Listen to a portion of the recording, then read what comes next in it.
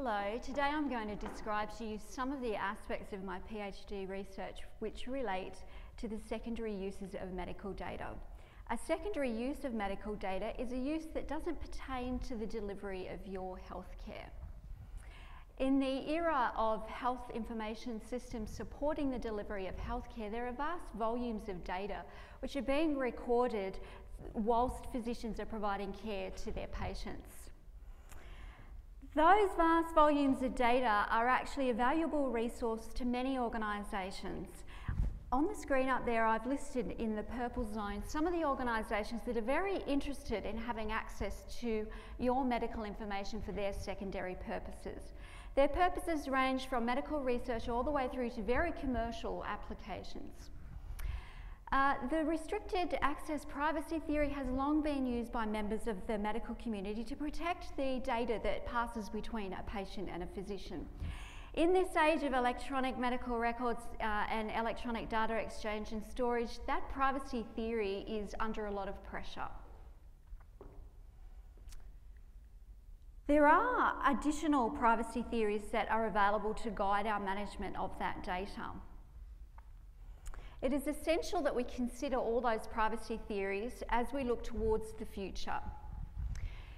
Many privacy advocates are very concerned about the uh, in introduction of surveillance into society and with the uh, introduction of the 16 digit unique identifier that the Australian government gave to every Australian last year, whether you liked it or not, we can now monitor people from the cradle to the grave, which is quite useful for retrospective observational research. However, it's also quite alarming. The Australian Law Reform Commission says that we should not create de facto um, identifiers that can be used to track people. I asked the Australian public what they thought about the restricted access limited control privacy theory, which is another one which could be quite useful. 1,158 Australians told me what they thought about that, that application of that theory in secondary uses of medical data. Basically, they gave the thumbs up to that research theory and they gave the thumbs down to the Australian government having control over secondary uses of their medical data. Using that theory, I've operationalised it into a module, an information systems module, that can plug into your e-health record, capture your preferences for secondary use, including your privacy expectations. I've also made data governance and legislation recommendations because they need to accompany that technology module. The module on its own is insufficient. I'm very excited about my research and I'd be delighted to talk to anybody else who'd like to give me their opinion. Thank you.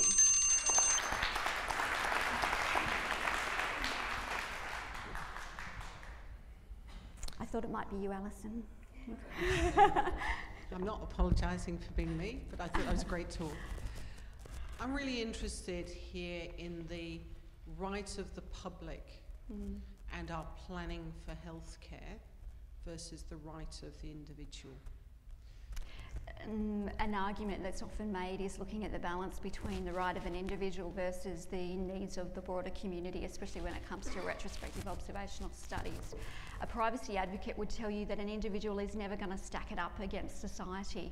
And so uh, looking at privacy from that point of view is always going to lean in favour of a medical researcher.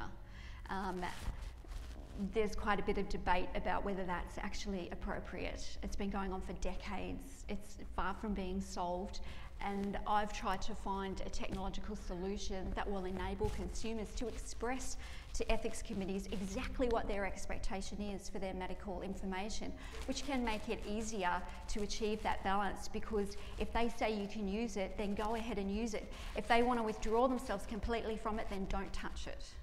So that would empower them and help get that balance back so that their voice is actually heard. Talk to me a bit, if you would, around anonymised data because there's clearly a world of difference if there's a whole health package with yeah. the name Alison Jones attached to it. Yeah. But if I've got, you know, all my blood pressure measurements and whatever over a lifetime on an anonymised data yeah. set, why would I be so worried? Okay, um, there are two trains of thought on this. One is that if you remove anything that identifies that individual, you can use that data for anything you, you like. Another train of thought is that even though you have removed the person's identifying characteristics from their data, indeed that is still specific to that individual and therefore they should have some control over the use of it. Um, Professor Roger Magnusson at Sydney University warns we're on a slippery, slidey slope if we think we can anonymise information and then use it for whatever surveillance we want. Thanks very much. I think you, you've entered a really complex field and you've articulated it very, very well. Thank Thank you. you for that.